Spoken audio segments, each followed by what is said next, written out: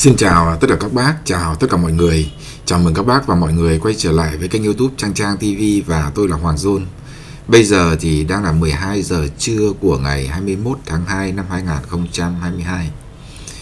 Có lẽ vấn đề Việt Á là một vấn đề mà chúng ta cảm thấy rằng là lòng gọi rằng là niềm tin bị tổn thương và cái sự xuống cấp đến mức cùng cực của một số một số người một bộ phận có thể nói rằng không nhỏ sau cái vụ việc mà liên quan đến Việt Á, ngành y tế, vụ Yên Phạc Ma vân vân. Và chúng ta tự hỏi rằng còn nhiều vấn đề bất cập nữa hay không? Còn chỗ nào nữa hay không? Thì à, có lẽ ngày 31 tháng 3 đợt tới sẽ là một cái ngày có thể nói rằng là phán xử với một số người. Trong một cái thông báo mới nhất thì có một cái dòng như thế này. Đó.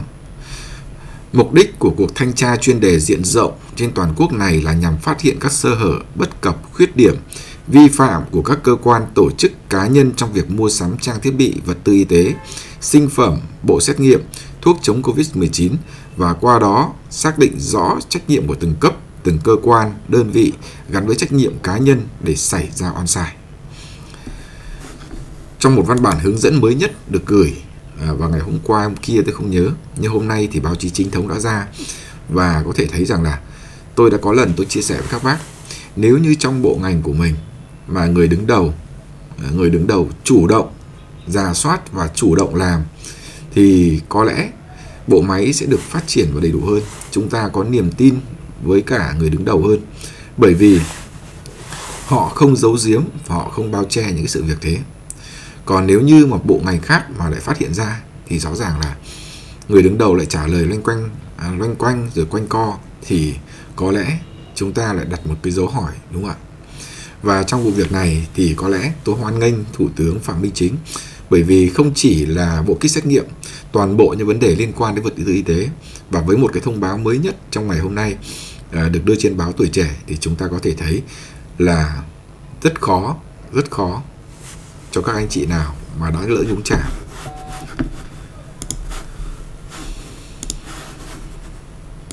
à, trước mắt cô bác đó chính là cái việc mà sáng ngày hôm nay ngày 21 tháng 2 năm 2022 vào lúc à, uh, 9 giờ kém buổi sáng thì có một thông tin thế này. Một cái gì rất cụ thể rất rõ ràng đó chính là thanh tra việc mua thuốc vaccine rồi bộ xét nghiệm và báo cáo thủ tướng trước 31 tháng 3 một công việc có thể nói rằng là đồ sộ tại hơn 60 tỉnh thành của cả nước.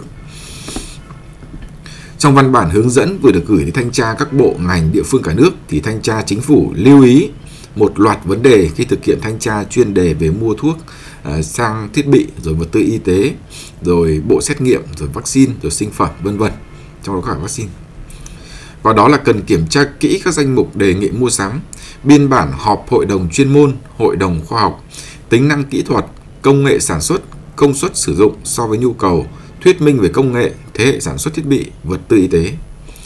Việc xác định giá mua trong kế hoạch đấu thầu, tài liệu xây dựng đơn giá trang thiết bị, vật tư y tế, sinh phẩm, bộ xét nghiệm vân vân.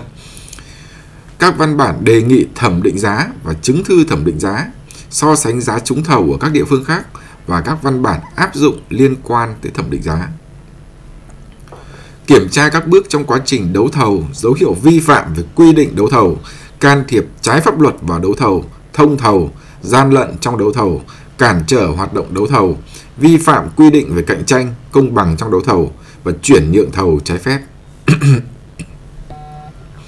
và cũng theo thanh tra chính phủ ấy, thì à, các bác có thể thấy rằng là việc can thiệp vào đấu thầu và mua sắm thuốc, vaccine, vật tư y tế, vân vân có thể trực tiếp hoặc gián tiếp bằng cách rằng là gây áp lực cho người có trách nhiệm trong việc tổ chức đấu thầu, xác định rõ hậu quả vi phạm gây thiệt hại về vốn, tài sản nhà nước, các tổ chức cá nhân là bao nhiêu và kiểm tra cái dấu hiệu chênh lệch lớn giữa giá trúng thầu và giá nhập khẩu, giá bán thiết bị y tế trên thị trường. Các cơ quan thanh tra cần làm rõ việc tính toán giá nhập khẩu, giá bán với chi phí hợp lý và tỷ suất lợi nhuận trên giá vốn dựa vào báo cáo tài chính của doanh nghiệp trúng thầu, so sánh với giá bán tương ứng, tính năng kỹ thuật tương đương cùng khu vực sản xuất và đang bán trên thị trường để phát hiện sai phạm. Thanh tra chính phủ thì cũng yêu cầu thanh tra các bộ, ngành địa phương. Khi thanh tra cần kiểm tra làm rõ cấu hình kỹ thuật, nhãn mác, xuất xứ, chất lượng trang thiết bị, vật tư y tế, việc thay đổi chủng loại trang thiết bị, vật tư y tế sau khi trúng thầu ký hợp đồng cung cấp, kiểm tra việc sử dụng trang thiết bị, vật tư này, vân vân. Tại các cơ sở y tế địa phương để làm rõ xem có việc bị quá hạn dùng, số lượng tồn kho, số lượng thanh lý. Và cái đoạn này là xác định trách nhiệm gắn với cá nhân, cá nhân mà tôi vừa chia sẻ với các bác. Rõ ràng đây là một tín hiệu rất tốt. À, các bác tưởng tượng thế này, để tránh cái việc mà thanh tra của các địa phương hay là một số nơi nào đó à, có thể họ làm sai hoặc là làm một cách biến báo biến tấu đi thì đây chính là một cái bản rất cụ thể để rõ ràng là có cái dấu hiệu vi phạm nào không và phải báo cáo thủ tướng trước ngày 31 tháng 3. Ví dụ như là giá bán ông nhập khẩu, ông bán lại cho các cơ sở y tế. Các bác tưởng tượng này. Với cái giá nhập khẩu là bao nhiêu? Wow. Vừa rồi các bác có thể thấy một số loại kit test nhập khẩu về một giá nhưng bán với giá gấp đôi, gấp ba tại các cơ sở y tế mà thông qua một công ty đấy. Thì phải tự hỏi xem điều đó xảy ra như thế nào. Thế rồi các bác có thể thấy rằng là so sánh việc giá của các trang thiết bị ở tại các nơi khác nhau. Ví dụ như là bệnh viện uh, A nhập khẩu một cái này, một sản phẩm, một thiết bị y tế này.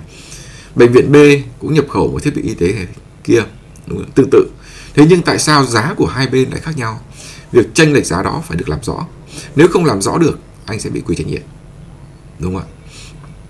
Tại sao? Ví dụ một cái máy, một cái máy này cùng chủng loại, cùng công suất mà ở bệnh viện A bán người ta mua với giá 10 tỷ mà bệnh viện B lại chỉ mua với giá 2 tỷ thôi.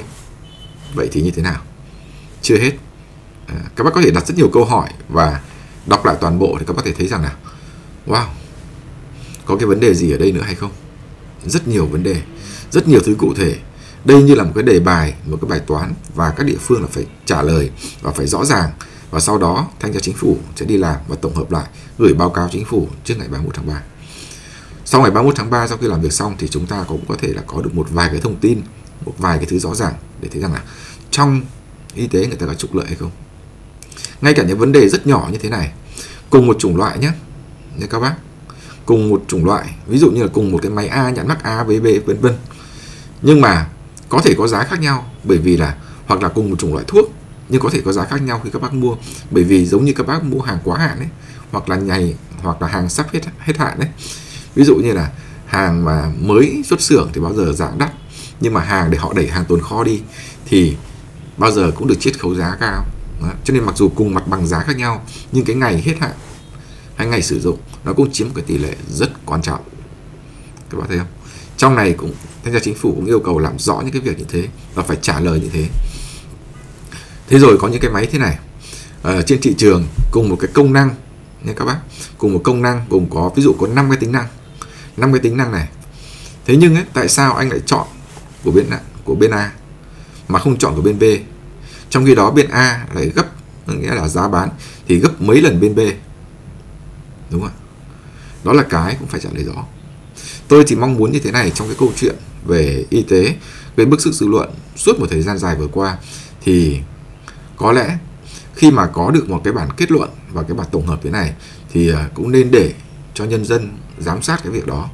Bởi vì khi công bố ra ấy, thì có thể rằng là uh, thanh tra chính phủ lực lượng cũng có hạn và một số uh, một số có thể là không chính xác mà mình đã bỏ sót bỏ lỡ thì những cái người ở phía bên dưới, những người dân và ngay cả những người trong ngành, những người trong chính cơ quan bệnh viện đó, họ có thể là chỉ ra tại sao như thế nào.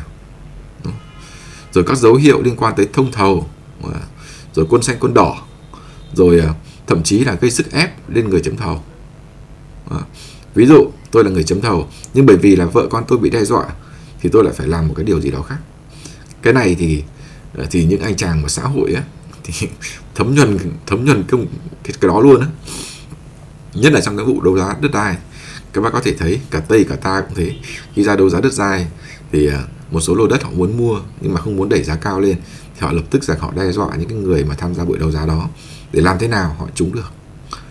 Có nghĩa nếu mà chúng ta đọc kỹ đọc đi đọc lại cái bản này thì à, một cái điều chi tiết rất là quan trọng. Đó là cái phần kết luận đó là phải gắn với trách nhiệm cá nhân của anh tại sao anh lại làm như thế? Tại sao anh đặt mua như thế? Dư địa thế nào? Căn cứ tính quá toán ra làm sao? À, ví dụ anh đặt mua rằng là anh dự tính rằng là anh mua đến 100 ngàn cái kit test trong khi đó rằng là là dân số của cả cái huyện đấy của anh nó chỉ rơi vào cỡ tầm 50.000 người. Vậy tại sao lại mua cái đó? Hoặc là số ca nhiễm lúc đấy chỉ có khoảng từng này vậy tại sao lại mua cái đó lúc đó? Và bây giờ có thể rằng là có rất nhiều những cái trang thiết bị như gì đấy mà không được sử dụng có thể anh mua đúng, hay mua gì đấy, nhưng mà không được sử dụng, thì nó cũng là một cái sự lãng phí, đúng không ạ? Tôi tin rằng là bức tranh toàn cảnh của ngành kinh tế, ít nhất sau cái bản thông, sau cái bản này, sau ngày 31 tháng 3 cũng sẽ được rõ ràng hơn. Cảm ơn tất cả các bác, cảm ơn tất cả mọi người. Chúc các bác một buổi chiều tốt lành.